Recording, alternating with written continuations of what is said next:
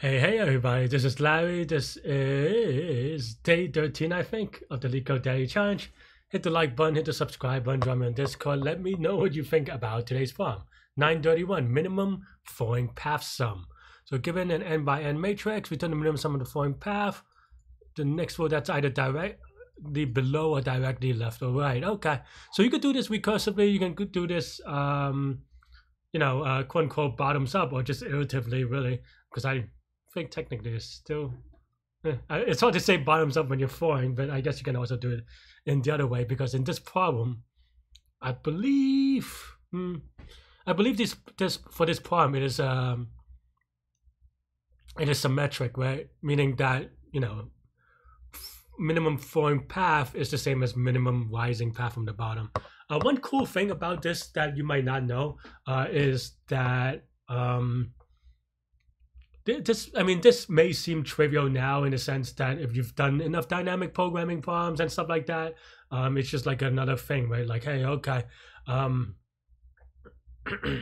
it's just another um, yeah it's just another thing that you do and you try to minimum a path on a on a on a, a matrix of numbers right? But actually when it the first time I've heard of this, or at least someone similar about this, and it was kind of cool because it was um, it was something that came up and i'm sorry if i'm telling a little bit of story but hopefully you know you you you could fast forward if you like. But but what i was going to say is that i remember there was a paper in the late 2000s or 2000 and knots or whatever like 2008 2009 maybe. Um, maybe i got that year wrong so don't don't judge me for it. I don't all these years blend together now. But but uh, but and at that time for me anyway, I, you know, I've I've known a lot about dynamic programming and dynamic programming. Um, you know, it has a very mathematical background, meaning that you know, um, for example, they they use it to calculate the expected value of you know uh, baseball and and like the states and stuff like that. A lot of this sports analysis uh, or analytical sports are kind of you know the, the one of the first things is assuming and figuring out states and then mapping those states to win probability and etc right? Things that we probably take for granted now right? When you look pull up you know anything there's you know there, there's some like thing telling you like oh uh you know argentina has a 60% chance of winning tomorrow or something like this right? Also let me know in the comments what World Cup team that's left that you're rooting for if you if you're paying attention to this part of the story. Um,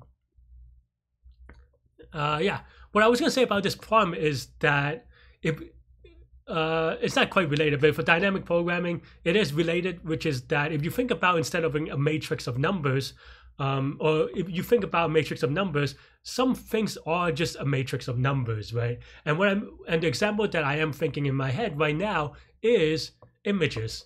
Um, images you can think about as as um as a you know array of or a matrices of numbers uh, containing three or four values, right? The red, green, and blue, and maybe alpha um, as the alpha transparency, and maybe some other stuff that's like you know function of something. But those are like the maybe the base components that comes up a lot. And you know this is stuff that uh, something say Photoshop is based off. And the cool idea behind or, or one cool idea that I, I remember very really vividly is around um, content aware uh, resizing. Yeah, content aware resizing, right? Meaning that you know for a long time if you if you resize you know, let's say you have a, a, box this big and then you resize it, everything just scales, you know, left to right, uh, or uh, everything just scales you know the width rise uh, or height rise it just scales to some uh, constant um, multiple factor right? Meaning that you know you divide it by or you multiply it by like 60% you want to make it 60% smaller and so forth right? You know i mean i think you're familiar with that and the math is very easy right? It's just you know uh, um, a scaling transformation and it's very easy to do. But coming back and we're at five minutes of story time. Uh, how what, what, you know what relates to the story, right? What or what relates to this poem? Well, the thing that relates to this poem is that um, I think this paper about content aware resizing was just like okay, what if instead of doing this like ugly thing where you know you you you shrink and and things get squished and you know you have to dance around to get it right what if on resizing you just remove the least interesting path right and what does that mean by least interesting path? So that's basically the idea right? Meaning for and i don't really have examples because like this is off my head. Everything i do usually is live and that's like i don't know i the power right now or something. But um, but yeah, the least interesting path, for example, if you have, I don't know, a picture of Larry, like with a, I don't know, green background, or not green background, but just like me on a beach, say, right? Um, if you want to remove, just say, let, us say you want to remove one pixel line, right, from anywhere on the thing. Um, if you do it naively, maybe you re, re, you know remove part of Larry's face, which would make me very sad because I I, I like my face. It's my moneymaker, right? Haha. no, no, but but you may also imagine that instead of removing one line like that, and it, a, a least interesting path may be like, okay, we move something from the sky, we move something from the background, from the, you know, like around Larry's body, and it doesn't have to be, it doesn't have to be a straight line. It could be a, a jaggedly line, but just around Larry's body, right? And then now you can maybe you know squish it by ten pixels, and you remove ten inches, uh, ten boring lines, if you will, right? Um, so that's basically how content aware resizing works is that it tries to calculate the least interesting path. And as it turns out, the least interesting path of, well, I mean, obviously, there's a lot of different ways to define what's interesting and what's not, and obviously, there's artistic interpretation, etc., etc. And if you looked at my Instagram, uh, which you know in the link below, you could see some of my pictures and and my interpretation of what a good image is. Um, you may disagree, that's fine, but what I was, but basically, it's about the minimum minimization of basically you're trying to find a path from the top edge to the bottom edge if you're trying to remove a vertical edge. Uh, that is the least path. And it's not, and the cost of the path is the delta between adjacent values right? So it's not quite the same as this problem i guess because you're trying to find the minimum sum but but you for example if you're going from black to black you know that's not that as interesting because the colors are you know um, very similar. Where you have going from like black to white there's a huge contrast so it's maybe more likely to be interesting. Of course there are other functions that are similar. Maybe like you look at instead of just looking at the two cells that you're removing maybe look at like a uh, an adjacent ones and then there's some convolutions of values and and they're more mathematical. But when it comes down to it it is just a minimum path from the top to the bottom given some cost function and you're trying to minimize it right so that's basically the cool idea that you know uh, I, I I don't know. I just feel like maybe today was a little bit of a story time. Uh, so you know, we, had about eight minutes of story time. Hopefully, that's interesting. But it's also because I wanted to provide, you know, um, you know, as a geek, as a nerd that I am, uh, you know, a very common thing that people say is like, okay, but am I actually going to use this in real life, or where does it come up in real life, right? And and this one was a really like I don't know, like I said, like that. I was gonna say ten years ago, but doing the math is, I guess, it's actually closer to fifteen years ago, right? So, fifteen years ago, it's like a Josh ago, or like a long time ago, right? So I don't know. So maybe to things that are amazing to me may not be amazing to you, but these are things that you know you, when you have the tooling, you can think about it in novel ways and kind of connecting different places and and you know these are just tools, right? Tools are that you're you're uh, presumably alive unless you're OpenAI watching my video. Um, so you know, there's always uh, room for creativity and and uh, yeah, and just like figure things out. All right, let's actually start at the bottom. Like I said, hopefully, uh, you know, I, I probably have a couple of videos on this, so maybe it's, uh, you know, whatever. But uh, but yeah, but this is just dynamic programming from the bottom to. Uh, I mean, yeah, I mean, it is shortest path in uh, in a way because minimum sum is in a way shortest path. You just have to define your edges. Dynamic programming, of course, is the same idea. Um, but yeah, okay. So the one thing that I always like to do, at least when I'm teaching, is to kind of define. Uh, well, let me let me set the size of the things first. Right and then we could set a DP matrix. Um, I know that you could also, if you're if you're uh, in a rush, say you can reuse reuse uh, the matrix and then do stuff on top of it. But I don't know. I just like to be a little bit more explicit. Um, right?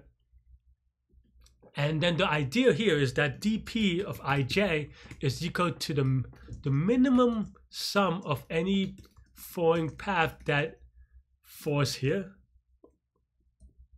ends here, right? Something like that. So that's basically, now that we define it, then we can kind of, you know, set the base case. The base case is just the first row, I believe. So now for i in range of, uh, oh, I guess this n by n, so it doesn't really matter, but we sh it should, it, I mean, it doesn't matter if you make a mistake until it does. So I still try to get it right. Um, so yes, i is you go to matrix of zero, i, right? And then now we have for each row, and we start at row one, right? Maybe I should use xy, I don't know.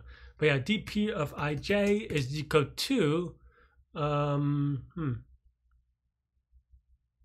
I'm just trying to think about the best way to write it, write it that's all. Uh,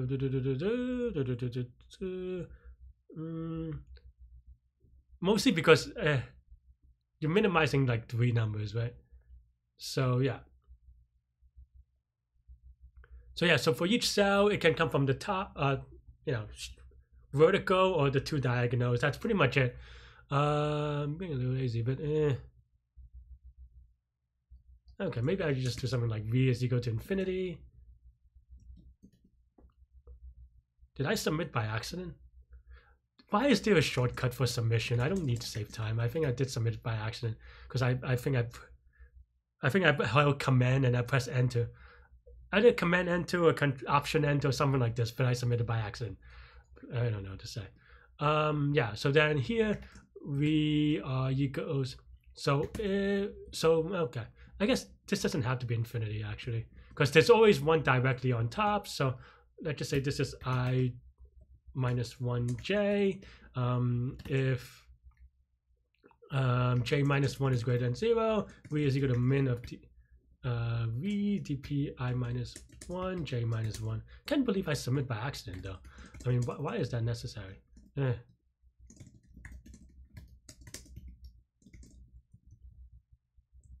Right? And then this is this plus the matrix I of j, which you can avoid. And then now we want the minimum sum, so the minimum sum is going to be on the last um, last row. So we just return min of dp sub uh, or minus one. Oh, whoops! Where did that i come from? Looks good. Let's give it a submit unless I fail next zero row or something. Yeah, a lot of story time, and I got a wrong answer because I hit a I hit a shortcut that really should not be there. Is there a way to turn it off? I, like, okay. Oh, there you go. I could turn it off. I don't even, eh, I don't need to do that. Okay, so at least I fixed that. Okay, is there any other settings that I need to do? I guess that's the only, no, that wasn't even a setting. Okay, now that I turn it off, I feel a little bit happier. Okay. Because that cost me, I mean, at least I, it cost me a submission now versus on like a contest. But yeah, so this is as you can see, this is R and C time uh, because basically in a greedy way, we just take the best, the minimum um, sum of any path that falls in the last, uh, in the adjacent ones on the last row. And yeah. Um, yeah, as you can see, this is of R times C, uh, uh, both in time and space. So yeah, that's all I have for this one. I don't think I'm going to do a bonus question today because I got in a little bit later. So um, yeah, that's all I have for now. Let me know what you think. Stay good, stay healthy, take good mental health. I'll see y'all later and take care. Bye bye.